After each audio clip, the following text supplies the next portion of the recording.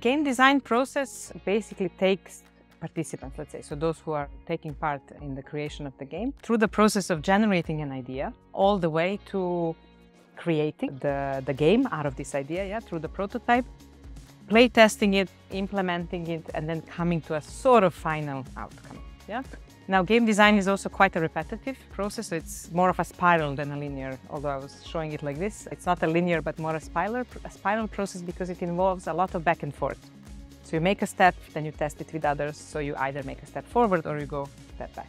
Yeah? And when we talk about game design uh, in this context, it's mostly that we talk about tabletop games or games that are used in education. We didn't venture so much, let's say, in video games or in the digital spheres. And the reason why we feel it's compatible with non-formal education is because there is a lot of principles that are implemented in this approach that are very similar to non-formal education or the same. For example, it's voluntary, so you can join in the process or you can leave it. Yeah, if it feels overwhelming or it, you don't connect to it, you can leave. It's very participatory, otherwise it doesn't work. And I know we say that about a lot of things, but it's really, if not everyone joins forces, it's quite a complex thing that things will not move. It requires very different profiles and competences, and this is another reason why people need to join in. So you need a group, so you learn from a group, like in non-formal education. It also relies a lot on the capacities of, of the group itself or the participants and not one external source like the teacher, let's say.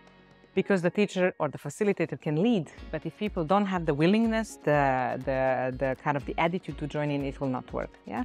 And maybe connected to that one final thing, although I think there is more there, is that it really plays a lot on the deeper level of learning which is how do I behave? What are my attitudes towards things? Am I ready to do so? Am I willing? Do I have the openness to join in in the process and, and so on and so forth? So observing the process, it really looked like it, it really kind of implements non-formal education in practice. And I will just give you one anecdote that in several processes where we did game design, in a, in a training, for example, the environment somehow also was very playful. So somehow we managed to have kids in it. We had animals, we had different cats or dogs, because somehow it feels that it's a very inclusive environment because it's so playful. Somehow everyone can find a place. Yeah. And for um, one of our participants in one of the processes said that for them, that was really a symbol of this is really an authentic learning process.